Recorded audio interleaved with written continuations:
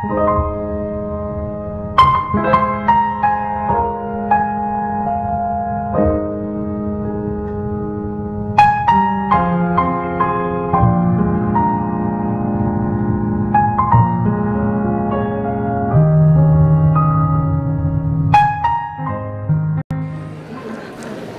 un gozo para mí, hermanos y hermanas, estar aquí en esta gran asociación de Greater New York. Tenido el privilegio de estar aquí en un buen número de ocasiones, incluyendo el año pasado. Quiero agradecerle al pastor Guerrero y a la administración por haberme concedido el privilegio, el grato privilegio. Ahora, hermanos y hermanas, queremos pedir la bendición del Señor en nuestro estudio. Así que les invito con reverencia a inclinar sus rostros y vamos a elevar una oración al Señor para que nos acompañe en nuestro estudio. Padre Celestial, qué grato privilegio tenemos de acercarnos con confianza a tu trono. No porque nosotros tengamos mérito, sino porque venimos en el nombre poderoso de Jesús. Sabemos que necesitamos sabiduría divina para entender tu palabra. Pedimos por lo tanto que el mismo Espíritu que la inspiró venga en estos momentos a explicárnosla y aplicarla a nuestra vida para que podamos vivir en armonía con ella. Gracias Padre por la promesa de tu compañía. Gracias por escuchar esta, la oración de tu pueblo. Lo pedimos en el nombre de Jesús. Amén. Quiero invitarles a abrir sus Biblias conmigo el libro de Génesis y voy a leer el capítulo 6, el versículo 5 y luego vamos a ir a los versículos 11 y 12. Génesis 6, 5 y luego los versículos 11 y 12. Estos versículos están describiendo la condición del mundo en los días inmediatamente antes del diluvio universal, en los días de Noé. Nos dice allí en el versículo 5, y vio Jehová que la maldad de los hombres era mucha en la tierra y que todo designio de los pensamientos del corazón de ellos era de continuo solamente el mal. Parece una descripción de New York. Imagínense ustedes, hermanos y hermanas, la terminología tan fuerte que hay en este versículo. Maldad, mucha, todo designio de los pensamientos solamente de continuo el mal. Ahora, como resultado de que los pensamientos del corazón eran solo de continuo el mal, la Biblia nos dice lo que sucedió en la sociedad. Los versículos 11 y 12 dice, y se corrompió la tierra delante de Dios. Y estaba la tierra llena de violencia. Y miró Dios la tierra. Y he aquí que estaba corrompida, porque toda carne había corrompido su camino sobre la tierra. Cuando los designios del pensamiento del corazón del hombre son solamente el continuo el mal, el resultado es la corrupción en la conducta de la sociedad. Ahora, inmediatamente nos preguntamos, ¿cómo es posible que el mundo haya alcanzado esta condición? Entre la creación y el diluvio pasaron 1656 años. Indudablemente el mundo tenía millones de habitantes, porque debemos nosotros recordar que no había esterilidad antes del diluvio. La sierva de Dios dice que la enfermedad prácticamente no existía. Además de eso, los hombres vivían hasta tener casi mil años. Y Dios te había dicho a nuestros primeros padres, multiplíquense, fructifiquen y llenen la tierra. Es decir, no cabe duda que la tierra estaba habitada. Había millones de personas en este planeta y sin embargo la Biblia nos dice que todo el mundo se había corrompido en sus caminos. ¿Cómo es que el mundo pudo llegar a esta condición en tan solo 1656 años? El libro de Génesis tiene la respuesta. Capítulo 6 y el versículo 1 encontramos la razón y esto nos amonesta a nosotros como, como adventistas del séptimo día. Dice allí en el versículo 1, aconteció que cuando los hombres comenzaron a multiplicarse sobre la tierra, les nacieron hijas, que viendo los hijos de Dios, que las hijas de los hombres eran hermosas, tomaron para sí mujeres escogiendo entre todas. La Biblia nos dice que la razón por la cual el mundo se corrompió de la manera que leímos es porque se unieron los hijos de Dios con las hijas de los hombres. Sigue diciendo en el versículo 4, había gigantes en la tierra en aquellos días y también después que se llegaron los hijos de Dios a las hijas de los hombres y les engendraron hijos. Estos eran los valientes que desde la antigüedad fueron varones de, renombre. Ahora, debo explicarles algo sobre este asunto de los gigantes. Si usted lee comentarios hoy en día, comentarios bíblicos no adventistas, van a descubrir que tienen una teoría que los hijos de Dios eran ángeles y que las hijas de los hombres eran mujeres humanas y que los ángeles se unieron con mujeres humanas y el resultado fue un híbrido llamado gigante. Los que creen así pierden en gran medida el significado de este pasaje. Porque en realidad la Biblia nos dice claramente que los gigantes ya existían antes que los hijos de Dios entraran a las, de los, hijas de los hombres. ¿Lo se dieron cuenta? El pasaje lo dice. Dice, había gigantes en la tierra en aquellos días y también después que se llegaron los hijos de Dios a las hijas de los hombres. Es decir, los gigantes no fueron el fruto de la unión de los hijos de Dios con las hijas de los hombres, porque había gigantes antes que se unieran los hijos de Dios con las hijas de los hombres. Ahora, tampoco los gigantes pueden haber sido un híbrido que resultó de una unión de ángeles con seres humanos, porque el Señor Jesucristo nos dijo claramente que los ángeles no procrean. Y además de eso, la Biblia dice que había gigantes, la misma palabra nefilim, había gigantes en Canaán, mucho después del diluvio. Es decir, que los gigantes que se mencionan aquí no fueron el fruto de la unión de los hijos de Dios con las hijas de los hombres, ángeles con mujeres humanas. Entonces surge la pregunta, ¿quiénes eran los hijos de Dios y quiénes eran las hijas de los hombres? Hermanos y hermanas, necesitamos tomar en cuenta el contexto. El contexto es claro. En Génesis el capítulo 4 tenemos la genealogía del malvado Caín. En esa genealogía se mencionan cuatro mujeres en el linaje malvado de Caín. En Génesis 5 tenemos el linaje de Seth, el justo. Y luego en el capítulo 6 habla de hijos de Dios e hijas de los hombres. Es decir, los hijos de Dios eran los fieles y las hijas de los hombres eran las mujeres del linaje infiel de Caín.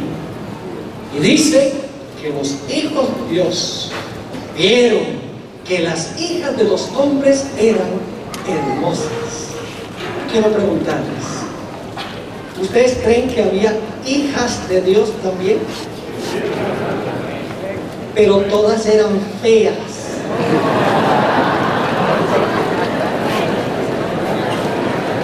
¿Por qué los hijos de Dios no se fijaron en las hijas de Dios? Los rabinos judíos, al igual que el significado de los nombres de las tres mujeres en el linaje de Caín, que no voy a tiempo de tomar el tiempo de trazarlo, indica que las hijas de los hombres andaban adornadas con joyas, pintadas y en desnudez de carne.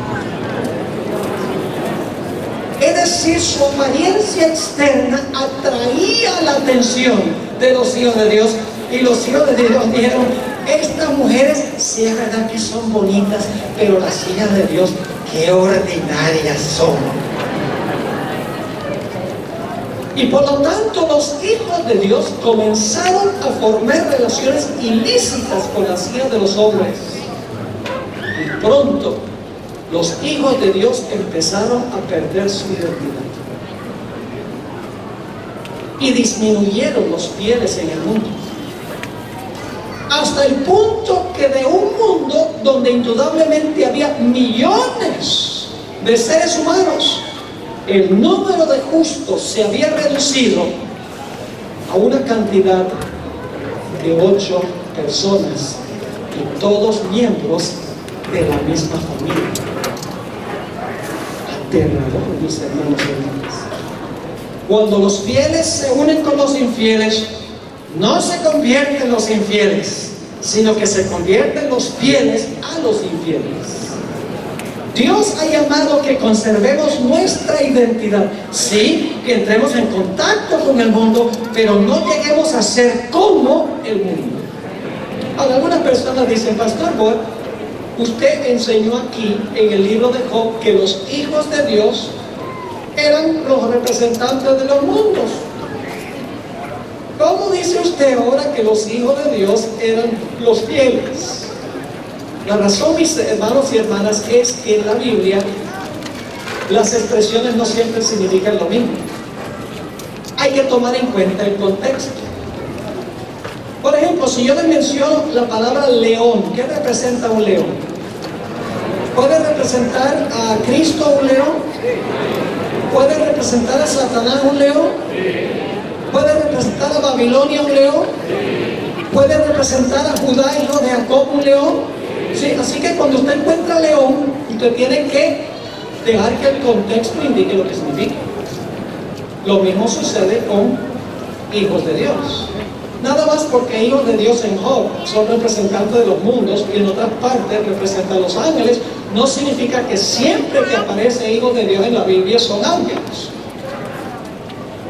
En ese caso, todos nosotros seríamos ángeles, porque la Biblia dice, mirad cuál amor nos ha dado el Padre, que seamos llamados hijos de Dios. Ahí se usa para describir a los que son fieles a Dios. Así que mis hermanos y hermanas, por la unión de los fieles con los infieles, empezó a disminuir el número de los fieles y a disminuir y a disminuir hasta que quedó solamente Noé. Dios siempre tiene un remanente fiel. Y el remanente fiel siempre está en la minoría, es un grupito pequeño. Note lo que dice Génesis 6 y el versículo 9. Génesis 6 y el versículo 9 está hablando aquí en cuanto al hombre fiel de aquella época. Dice, estas son las generaciones de Noé. Noé, varón justo ¿Qué más? Era que perfecto en sus generaciones. Con Dios caminó Noé.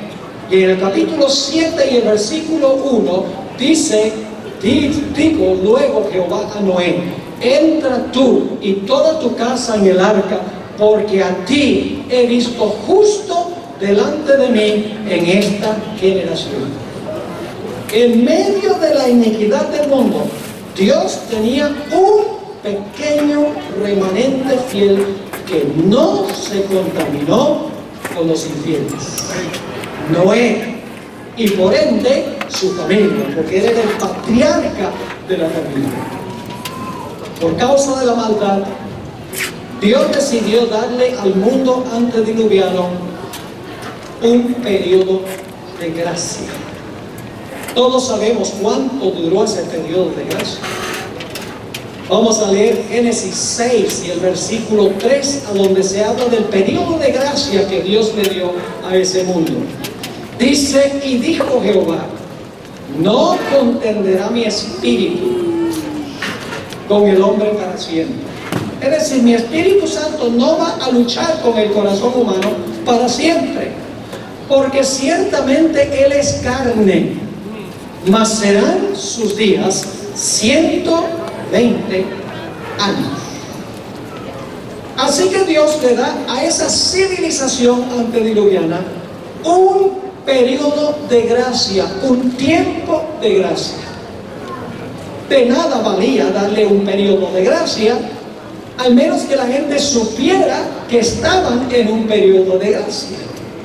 Así fue que Dios llamó a este remanente fiel, a Noé, a predicar un mensaje de advertencia al mundo. Ahora, si ustedes leen Génesis 6, no van a encontrar allí que dice que Noé predicó. Para eso necesitamos el Nuevo Testamento. En segunda de Pedro, el capítulo 2 y el versículo 5, nos dice que Dios llamó a Noé para predicar, para advertirle al mundo que iban a tener 120 años de gracia y oportunidad para recibir al Señor. Dice allí segunda de Pedro 2.5, y si no perdonó al mundo antiguo, sino que guardó a Noé, y luego que dice, pregonero de justicia, con otras siete personas, trayendo el diluvio sobre el mundo de los impíos. Dice aquí que Noé fue qué cosa? Pregonero de justicia. La palabra pregonero es la misma palabra que se traduce predicar en el Nuevo Testamento, la palabra queruso. Es decir, Dios llamó a Noé a predicar, a molestar al mundo, a pedirle y rogarle al mundo que vivieran vidas justas. Y fíjense que su mensaje estaba acompañado del Espíritu Santo. Porque dice en Génesis 6.3, no contenderá mi espíritu con el hombre para siempre. Su predicación iba acompañada del Espíritu Santo. Y era un mensaje de juicio. Porque el propósito del mensaje de Noé era separar a la raza humana en dos grupos.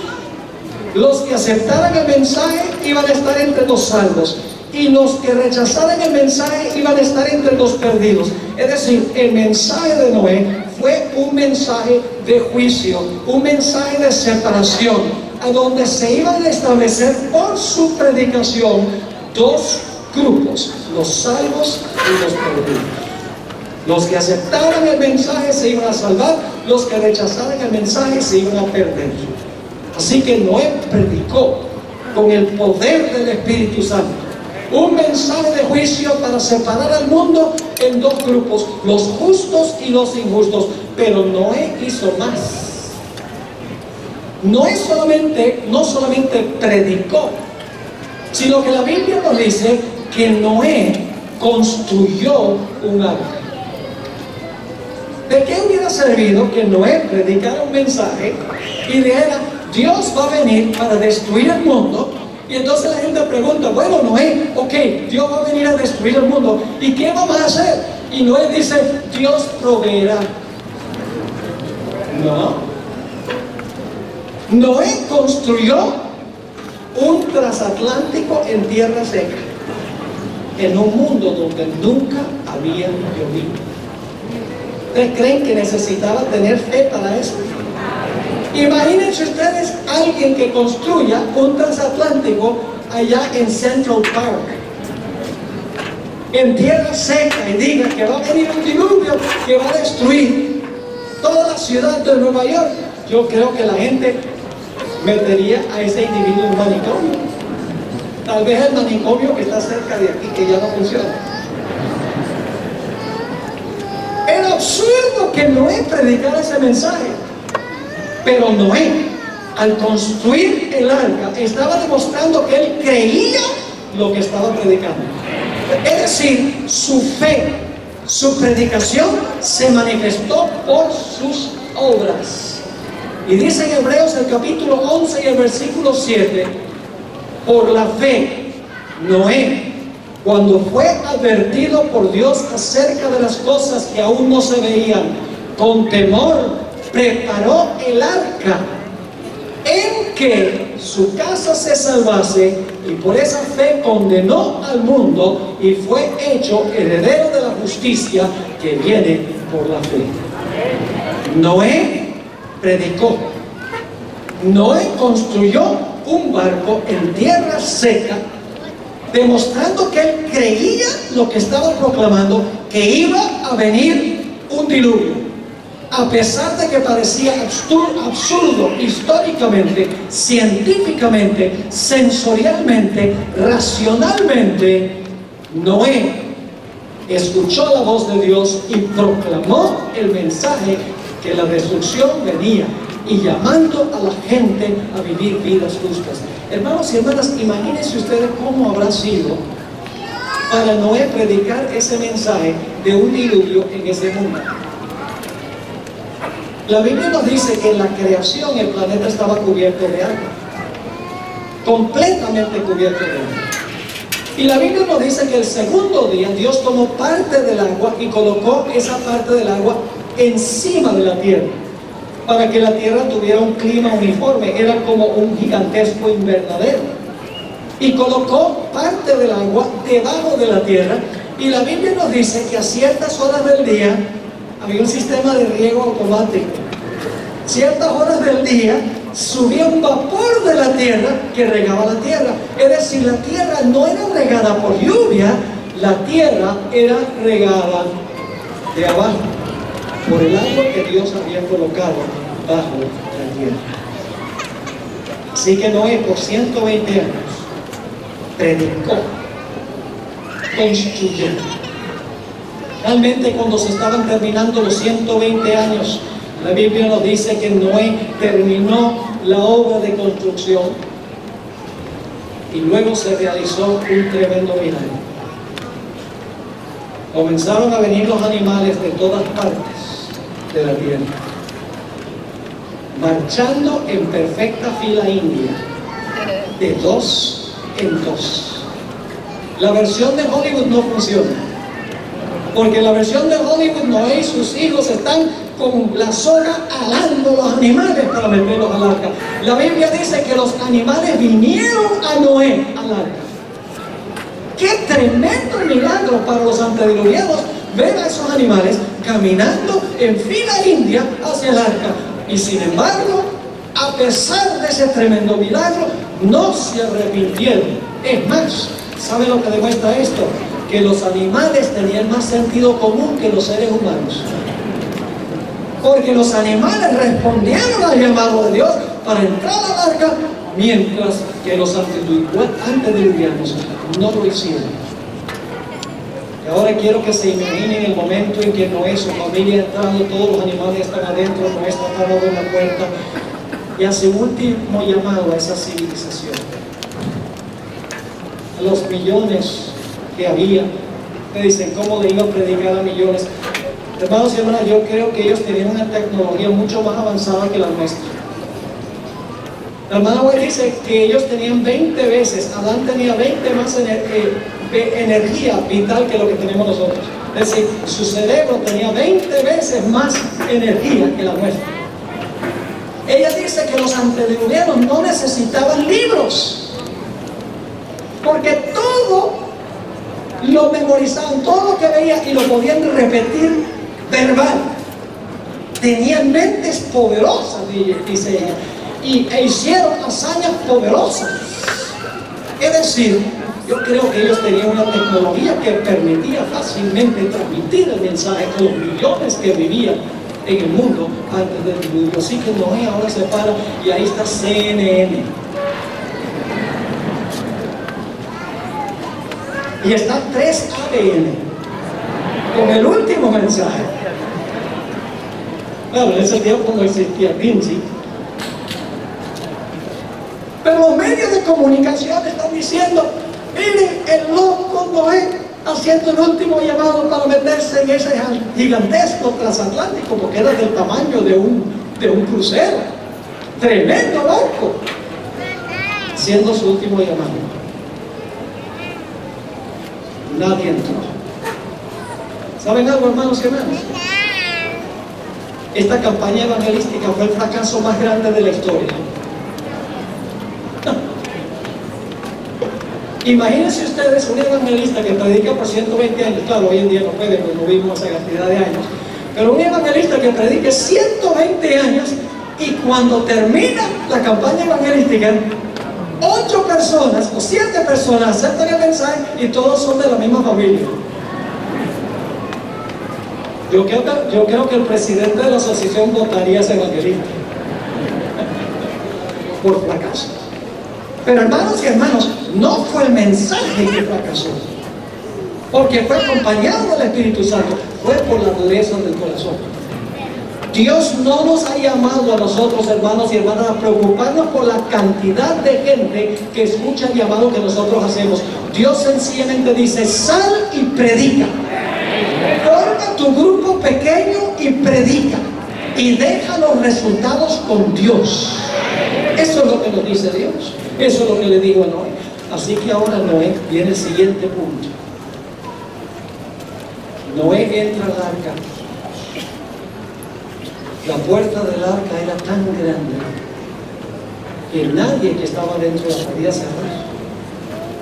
Génesis 7, 16 nos dice qué sucedió de próximo. Génesis 7, 16. Hablando de los animales, dice, y los que vinieron macho y hembra de toda carne vinieron como le había mandado Dios. ¿Y qué sucedió? Y Jehová le cerró la puerta. ¿Cuántos grupos había? Dos. Adentro estaban los salvos y afuera estaban los perdidos. Yo pregunto, ¿el mensaje de Noé fue un mensaje de juicio? ¿Separó a la raza humana en dos grupos? Mis hermanos y hermanas, la Biblia nos dice que en los últimos días Dios va a tener un remanente que proclama con poder el mensaje de Dios como lo predicó Noé. Y no solo van a predicar, sino que van a trabajar para mostrar que creen lo que están predicando. Su mensaje estará acompañado del poder del Espíritu Santo. Y será un mensaje que dividirá a la raza humana en dos grupos. Los que tienen el sello de Dios y los que tienen la marca de la bestia. La puerta se cerró. La hermana White dice que Dios colocó su sello sobre la puerta. Los que estaban adentro estaban sellados para salvación. Los que estaban afuera estaban marcados para la destrucción. Apenas se cerró la puerta, comenzó a llover. No. ¿Cuánto tiempo pasó entre cuando se cerró la puerta y comenzó a llover? Siete días. Hermanos y hermanas, ¿por qué creen ustedes que Dios hizo que Noé y su familia estuvieran dentro del arca con todos esos animales por siete días? Vamos a leer los versículos. Génesis 7 y el versículo 10. Y Dios dice, porque pasados aún siete días, yo haré llover sobre la tierra 40 días y 40 noches. Y raeré de sobre la faz de la tierra a todo ser viviente que hice. Y sucedió que al séptimo día las aguas del diluvio vinieron sobre la tierra. Ahora reflexionemos y pensemos un poco sobre esto. ¿Ustedes creen que la fe de Noé y su familia fue probada durante esos siete días? La sierra de Dios en Patriarcas y Profetas dice que sí. La puerta de la gracia se había cerrado. Ya no había oportunidad de que nadie se salvara después que se cerró la puerta. Ya no había oportunidad de salvación. Los que están dentro del arca pasan un día y el otro. Pasan dos días como nada. Tres días, cuatro días, cinco días, seis días, siete días. Los que están adentro están, no están pensando, ¿será que me equivoqué? No llueve. ¿Y cómo creen ustedes que se portaron los que estaban afuera? cada día se volvieron más altaneros, más abusivos, burlándose de Noé y de su familia. La fe de los que estaban adentro fue severamente probada, la demora, y cada día los que estaban afuera se burlaron más, se volvieron más altaneros y gritaban más contra los que estaban dentro del arca. Pero luego el octavo día, porque la Biblia dice pasados siete días, los hermano me dice que el octavo día, pasan siete y luego el octavo día, la gente empieza a ver unos objetos voladores no identificados. Nosotros los llamamos nubes. No había condensación antes del diluvio. Empiezan a ver nubes. Mm. Es raro esto. Y luego empiezan a rugir los truenos. Y empiezan a fulgurar los relámpagos. Y empiezan a caer gotas del cielo. Y ahora escuchen, la sierva de Dios dice que aún cuando empezaron a caer las gotas del agua, ellos todavía creían que había una explicación científica. Así se habían endurecido ellos. Pero luego, ah, no solamente empezaron a caer gotas, sino que empezaron a caer torrentes del cielo y se reventaron las fuentes del abismo y grandes cohetes de agua salían de la tierra. Vamos a leerlo en Génesis 7 y el versículo 11. Génesis 7 y el versículo 11 dice el año 600 de la vida de Noé. En el mes segundo, a los 17 días del mes, aquel día fueron rotas todas las fuentes del grande abismo. Son las aguas que Dios había colocado debajo de la tierra, que había dicho, te vas a quedar ahí, Dios le había dicho al agua. Fueron reventadas o rotas todas las fuentes del grande abismo y las cataratas del cielo fueron abiertas. Y hubo lluvia sobre la tierra 40 días y 40 noches. Me gusta esa palabra cataratas. Hace unos años pude visitar las cataratas de Iguazú. Yo sé que alguien, hermano de Paraguay, sí. Queda un poco lejos de Asunción, donde estaba teniendo unas conferencias. Fuimos a visitar y de regreso nos perdimos y esa noche no pude predicar. Pero hermanos y hermanas, qué cosa tan impresionante.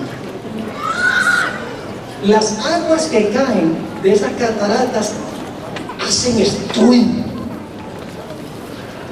Es impresionante el ruido y el vapor que sube cuando esa agua cae. Y luego cuando estuve ahí me puse a pensar, ¿cómo habrá sido el diluvio que hubo un iguazú en toda la tierra? Impresionante. Toda el agua que Dios había colocado abajo y arriba, ahora Dios la trae arriba y de abajo. Y llena el planeta de agua como había estado antes de la semana de la creación. ¿Cuántos de ustedes recuerdan el terremoto y el tsunami que hubo en Japón recientemente? Hermanos y hermanas, cuando yo vi eso por televisión, a mí me parecía que yo estaba viendo una película de Hollywood. Sinceramente.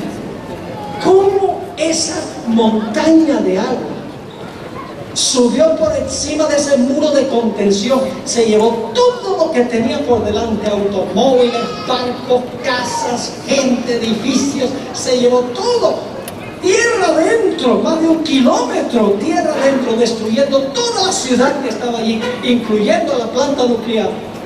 Era como si estuviera viendo una película.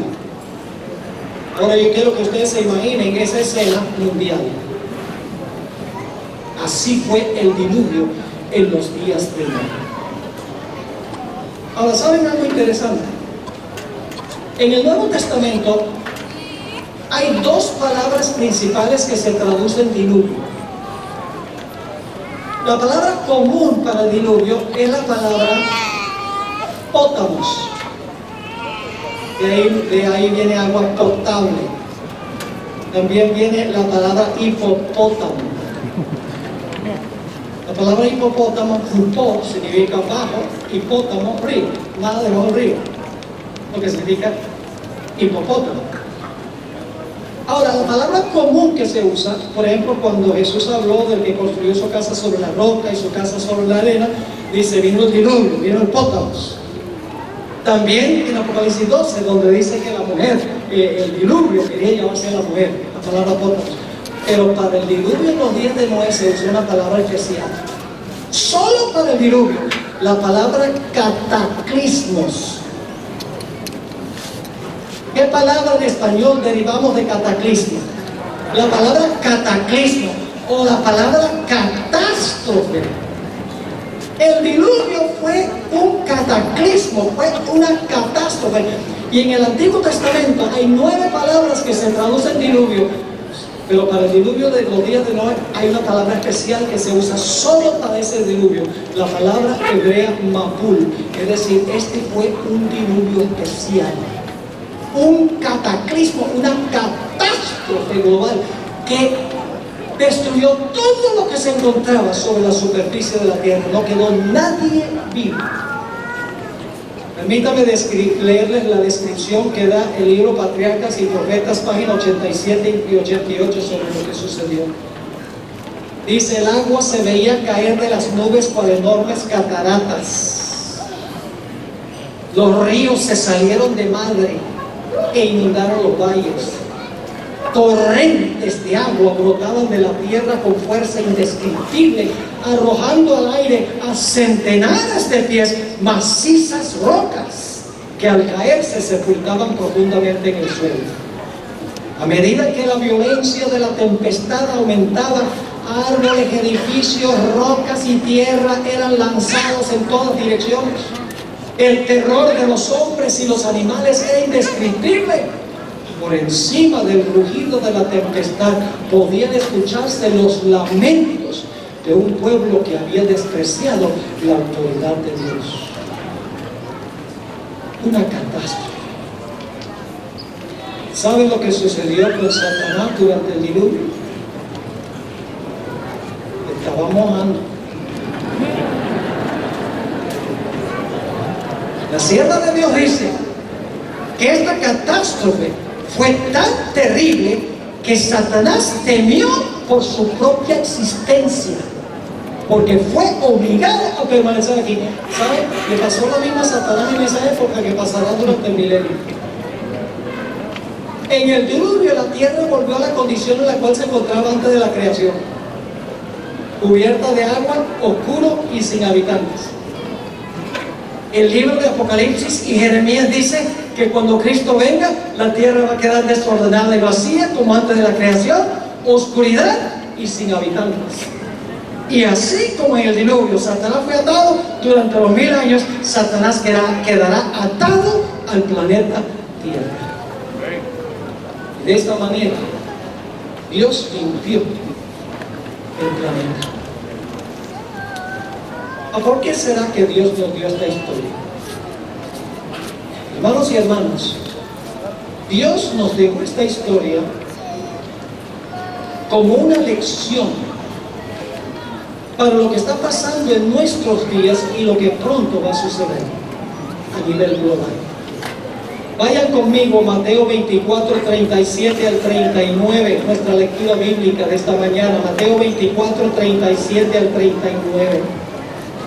Quiero que noten en este versículo que se usa la palabrita dos veces. Hasta. Esa es una palabrita clave. Hasta. Marca dos puntos de tiempo.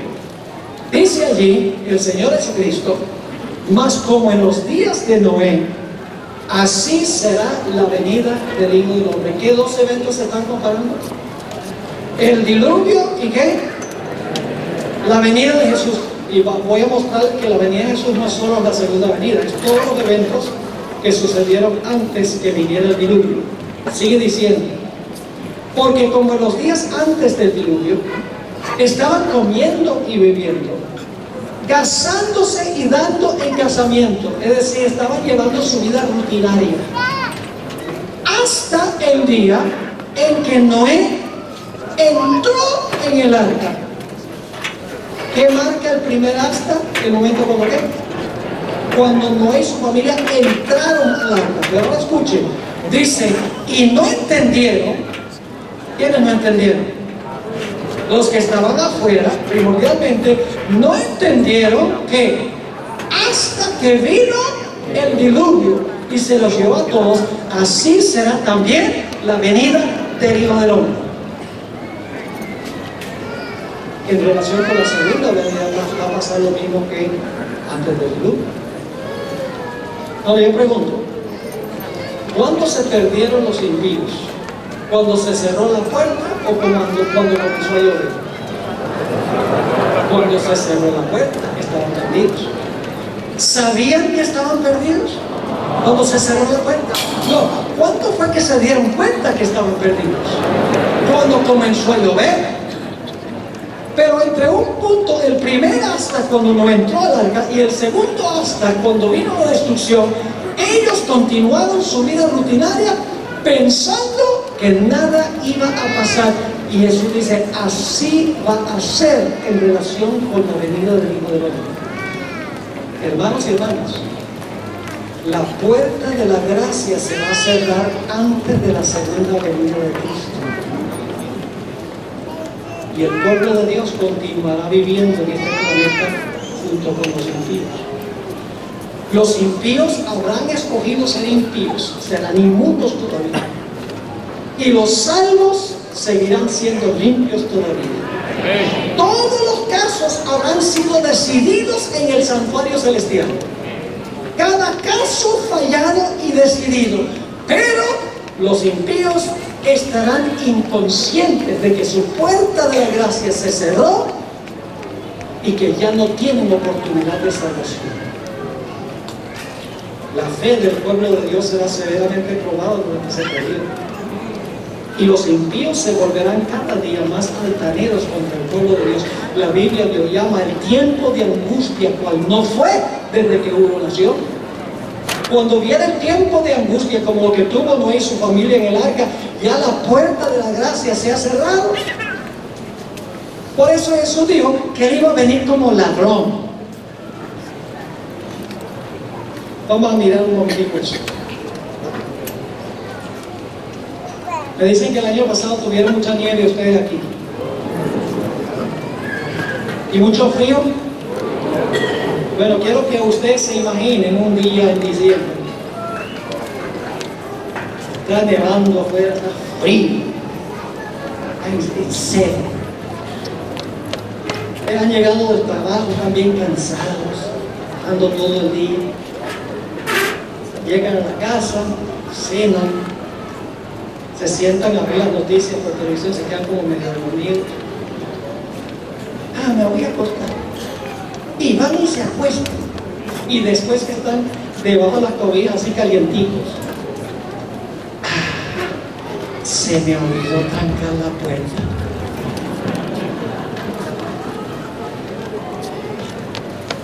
¡Ah! da una flojera salirme debajo de estas cobijas tan calientitas. Yo llevo 20 años viviendo en esta casa y el ladrón nunca ha venido. Así que la persona se queda en la cama y resulta que esa noche llega el ladrón. Encuentra la puerta sin trancar. Dice, esto es maravilloso, porque nadie en la casa está velando. Todos están durmiendo. El ladrón llega, el ladrón se roba el iPad, el iPhone, y el televisor, aleluya.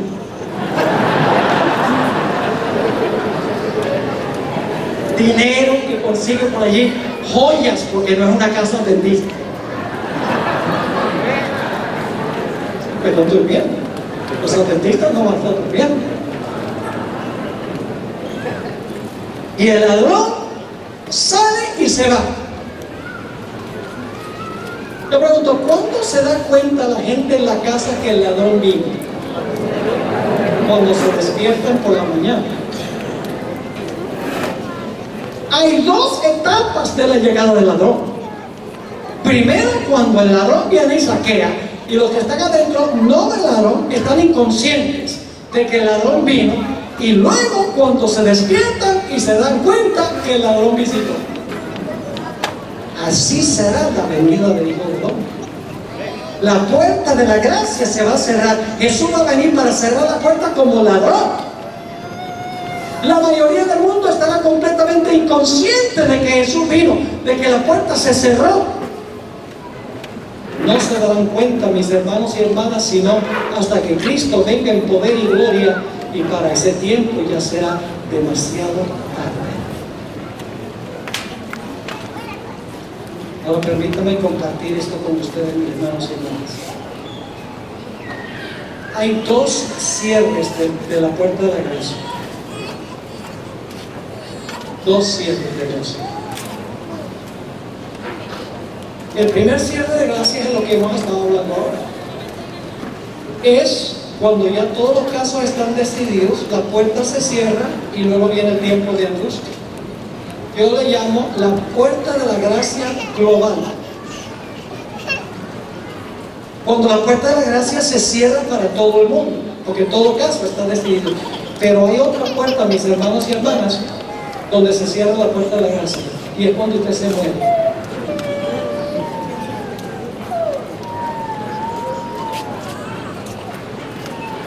Usted se llega a morir antes que se cierre la puerta de la gracia para el mundo y a su puerta se cerró.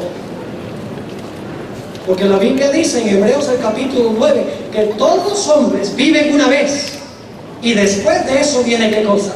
Después de eso viene el juicio.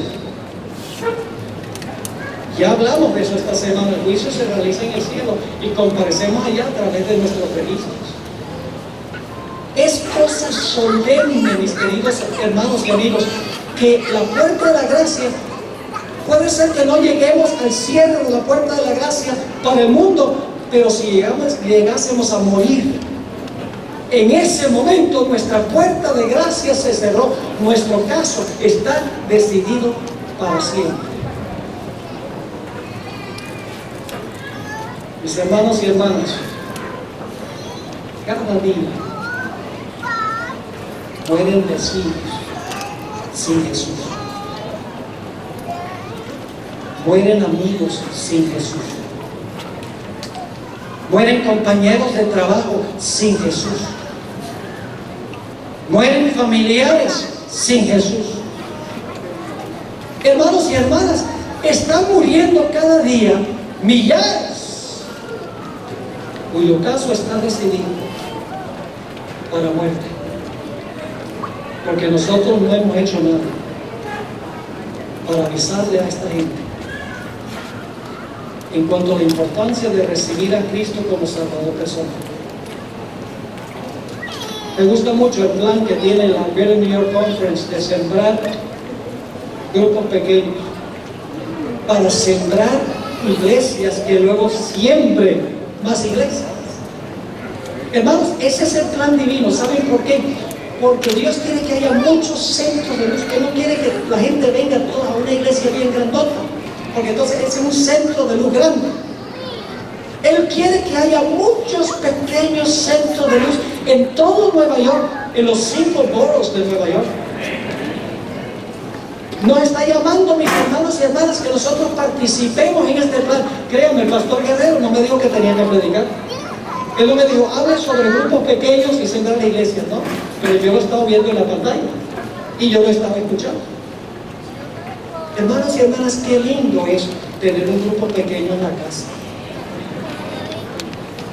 Invitar a los vecinos, compañeros de trabajo, familiares, etcétera, a venir a reunirse cuando se tiene ese grupo pequeño, la gente llega a emocionarse y forman otros grupos pequeños. Si hiciéramos eso, la obra se terminaría y mucha gente que muere sin Cristo moriría con Cristo. Yo quiero preguntarles, hermanos y hermanas, en esta época de la historia, cuando todo demuestra que estamos viviendo los últimos momentos, yo pensé tal vez hablarles un poco sobre, sobre la visita del Papa. Es muy significativa esta visita. Muy simple por lo que va a decir y por lo que ha estado diciendo. Y los desastres en el mundo, la criminalidad. Hermanos y hermanas, yo creo que estamos viviendo en el mismo umbral de la segunda venida de Jesús. No poniendo fecha. Nos incumbe activarnos, mis hermanos y hermanas. No quiero preguntar en esta mañana, ¿cuántos están dispuestos a decir al Señor, Señor, yo voy a regresar a mi casa, yo voy a regresar a mi iglesia y por tu gracia yo voy a participar en la proclamación del Evangelio, en formar grupos pequeños, en apoyar grupos pequeños. ¿Cuántos quieren decir que están dispuestos a hacer eso? Ahora vayamos y hagámoslo. No es suficiente, Pastor Guerrero, predicar, hay que construir. Regresemos y hablemos con nuestros pastores, con los líderes de la iglesia y digamos, ¿cómo puedo yo participar en este plan? Este plan de alcanzar a Nueva York para Jesús. No podemos permitir que miles continúen muriendo sin Jesús. Pero quiero terminar haciendo otro llamado.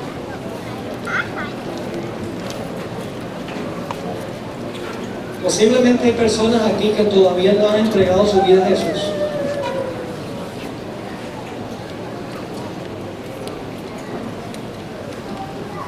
Porque una persona dirá, pastor, ¿cómo es que yo entrego mi vida a Jesús? ¿Cuán importante es que yo entregue ahora mi vida a Jesús? Les voy a explicar, mis queridos amigos, es un asunto de vida o muerte. A veces pensamos y decimos, no, yo, tengo tiempo. En el, futuro voy a, hacer, voy a entregarme a Jesús. El futuro es nuestro. El futuro le pertenece solo a Dios. Nosotros tenemos solamente este momento presente en el cual nosotros estamos viviendo. A veces la gente me pregunta, me dice, Pastor, ¿usted no tiene miedo de montarse en un avión? Yo digo, no. ¿No? ¿No? ¿Por qué voy a tener miedo? Dice, ah, porque el avión se puede caer. O sea, sí, se puede caer, porque aviones se han caído. ¿Qué problema hay con que se caiga? ¡Ah, se muere! Bueno, sí. ¿No tienen miedo de morir? No. ¿Cómo que no tienen miedo de morir? Porque yo estoy en Cristo. Y mi Biblia dice que los muertos en Cristo resucitarán primero. Es decir, que si usted está en Cristo, usted no tiene que preocuparse en nada de si se muere ahora, si se muere en una hora, si se muere en 10 años, 15 años, no hay ningún problema. Si está en Cristo, está seguro. Si está fuera de Cristo, hay inseguridad. Ahora alguno preguntará, pastor, ¿cómo es que llego a estar en Cristo? La Biblia nos dice cómo llegamos a estar en Cristo. Te voy a explicar. Nos dice en Gálatas 3, 26 y 27, pues todos sois hijos de Dios por la fe en Cristo Jesús. Porque todos los que habéis sido bautizados en Cristo, de Cristo estáis testigos. El momento cuando nosotros Llegamos a estar en Cristo oficialmente, es en el momento cuando recibimos a Cristo y nos bautizamos. Ahora permítame explicarles por qué el bautismo es tan importante. Posiblemente haya personas aquí que nunca han visto una ceremonia bautismal. El pastor se para en el bautisterio, creo que vamos a presenciar una esta tarde, se para en el bautisterio, el candidato está delante del pastor, el pastor levanta la mano, y dice, yo te bautizo en el nombre del Padre, del Hijo y del Espíritu Santo. Amén. Yo pregunto, ¿qué es lo último que hace el candidato antes de que lo metan debajo del agua? Deja de respirar. ¿Y qué hace mientras está debajo del agua? No respira. ¿Y qué es lo primero que hace cuando sale del agua? Respira de nuevo. ¿Sabe lo que está pasando en el bautismo? esa persona está repitiendo la experiencia de Cristo. Porque Cristo en la cruz respiró. Mientras estaba en el sepulcro no respiraba y muy temprano, el primer día de la semana, respiró de nuevo. Cuando usted se bautiza, Dios lo incorpora a usted en Jesús, porque usted pasó por la misma experiencia que Él. Se me ocurre preguntar en esta mañana terminar. Hay alguien aquí que está fuera de Cristo, que no ha sido bautizado, que le gustaría decirle, Señor Jesús, Señor Jesús, sabiendo la premura del tiempo, sabiendo que hoy es el día de la salvación, yo quiero delante del Señor decir, Señor, yo quiero unirme a Jesús a través del bautismo, un bautismo por inmersión para unirme así con Jesús. ¿Quiere levantar la mano si ese es el deseo? Por favor, póngase de pie. Yo quiero orar por usted en esta mañana. Póngase de pie, aquellos que, que desean unirse con Jesús a través del bautismo. Gloria a Dios. Vengan aquí al frente, yo voy a orar por ustedes. Vengan aquí al frente. No, no dejen pasar esta oportunidad. Yo no les estoy torciendo el brazo. Dios les está abriendo el camino. No hay nada más precioso que entregarle la vida al Señor Jesús. Tal vez si podemos tener alguna música de trasfondo, tal vez el pianista o la música de trasfondo mientras la gente viene gloria a Dios. Acércate. El tiempo pasó, pero tampoco queremos cerrar sin que cada persona tenga la oportunidad de responder al llamado del Señor Jesús. Gloria a Dios. Nuestro Padre y nuestro Dios, qué misericordioso eres. Gracias por tu gracia, tu misericordia, tu amor y tu bondad. Oh Padre, nosotros merecemos la muerte el instante que pecamos. Gracias por mandar a Jesús para tomar nuestro castigo, nuestro cruel castigo. Gracias porque podemos estar en Cristo, nuestro Salvador.